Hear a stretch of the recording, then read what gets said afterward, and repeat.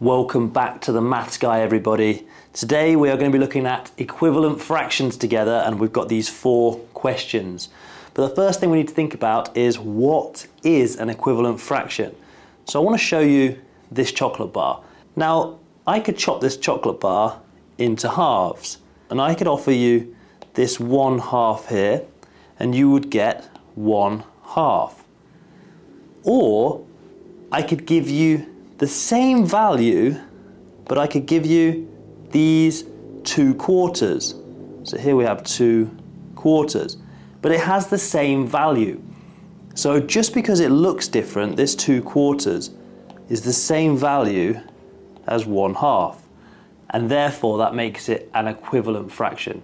So an equivalent fraction is basically just a fraction that looks different, which has been split differently, but has the same value. Okay, so let's have a look at question one together then and let's see what we need to do to answer this. So we're going to look at question one, we're going to look at this one half, okay?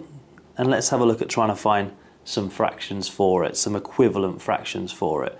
And we have these three steps. We have step one, which is to multiply or divide. Then we have step two, which is to multiply the denominator. And then we have step three, multiply the numerator by the same amount. So what is a denominator and a numerator? Well, the denominator is this digit under the bottom. So this would be the denominator. And the numerator is this one at the top. This is the numerator. Okay? Now, the denominator is showing you how many your item has been split into. So if we go back to our chocolate bar, our chocolate bar has been split into two, so our denominator is 2. And then the numerator, the top number, refers to how many you're getting. So if we have one half here, we have one, and then over here we have another one half. Okay? So let's begin, and let's follow our steps.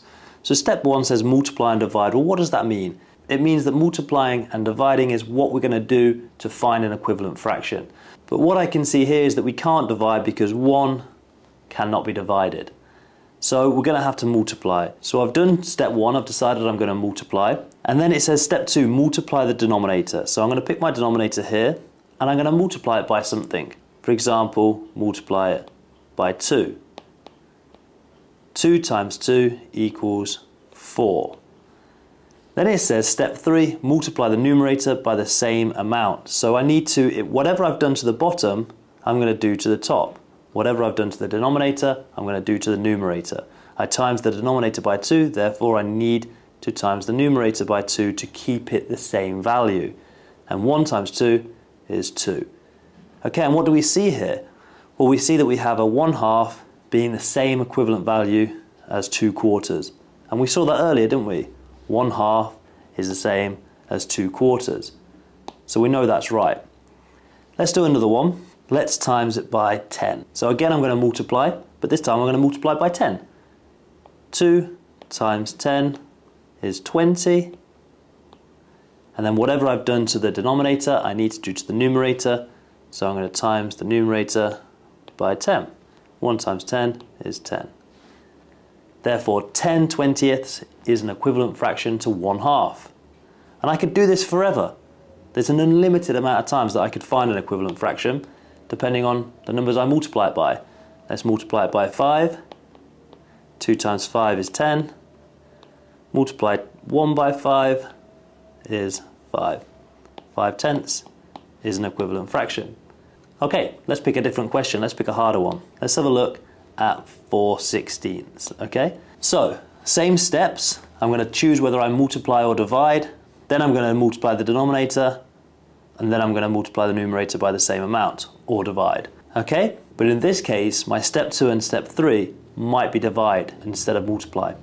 So let's have a look. Now I have 4 sixteenths. Now I can see straight away that I can divide if I wanted to because I can divide the number 4. I know that, for example, 4 could be divided by 2. And I'm going to start again with my denominator, and I'm going to divide by 2. 16 divided by 2 is 8. And remember, whatever I do to the denominator, I have to now do to the numerator. So 4 divided by 2 is 2. So 2 eighths are the same as 4 sixteenths, same value. If we're going to get our chocolate bar and cut it up. Having 4 sixteenths of it would be the same as having 2 eighths of it. Okay, let's do another one, because I can see another division 1 in here as well. I could divide by 4. So let's do 16 divided by 4 is 4, and 1 divided by 4 is 1. 1 quarter so 4 16th is actually an equivalent fraction to 1 quarter. And we call this equivalent fraction here the simplified version because this is its lowest form. These are the smallest numbers, the smallest digits that we can use in this fraction to show its equivalent value, 1 quarter. So this is how we really want to see all of our fractions in the equivalent form. Let's do one more where we multiply. Let's do a crazy one. Let's multiply by a million crazy. Okay, so 16 times a million is 16 million. And 4 times a million is 4 million. So 4 million 16 millionths is an equivalent fraction. Looks pretty crazy though, right? Well, that's because it's got huge digits. But don't forget, it's the same value. You might look at that and think, well, I'm going to get loads of that chocolate bar. But actually, you're going to get exactly the same amount because the chocolate bar has been now split into 16 million pieces. You're going to get 4 million of them, but each one is going to be tiny. Okay, let's look at another one. Let's have a look at one like this because this is what you might see sometimes. You might see an equivalent fraction where they already give you the denominator. So let's see how we solve this one then. Now we're going to have slightly different steps this time. First, we're going to find the connection between the denominators. Then we're going to find the multiple or the divisor, and then we're going to multiply the numerator by that same amount.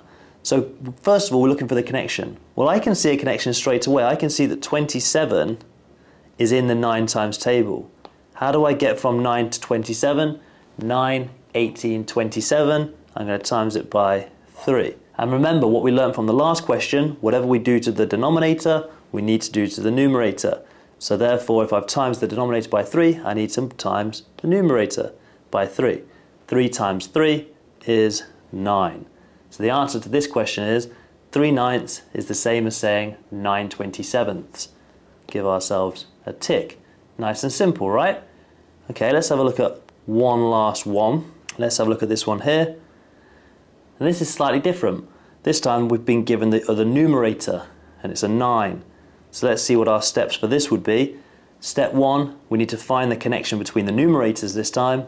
Then we find the multiple or the divisor, and then we multiply or divide the numerator by the same amount. So can we see a connection here already? Well, I think I can. I think from getting from 3 to 9 is in the 3 times table. And I can go 3, 6, 9. So again, it's multiplying by 3. So remember, whatever I've just done to the numerator, I now need to do to the denominator. Step 3, times 5 by 3 is 15. 9 fifteenths are the same as 3 fifths. So a couple of things to point out at this point. Firstly, one really important rule to make sure that we're keeping these fractions equivalent, we need to do the same process to the top as we do to the bottom. Same process to the denominator as we do to the numerator. So whatever we do to the denominator, whether we times it by a million, divide it by 5, times by 2, we would need to do the exact same thing to the numerator. It's really important to keep it equivalent. We need to keep those multiplications or divisions the same. That's the first thing. The second thing is why do we even need to find out what an equivalent fraction is and how to find one? Well, we're going to get into that much more throughout this fraction series because when we get into things like adding fractions or comparing fractions, sometimes we need to get the same denominators or numerators to help us. So finding an equivalent fraction will be what we do to help us do that. So keep that in mind for our next lesson, guys, which is going to be how to compare our fractions. Cool. Hope this has been useful to you guys. If it has, think about giving us a like and a subscribe. Check out the website, www.themathsguy.com, and we'll see you in another video. Peace out.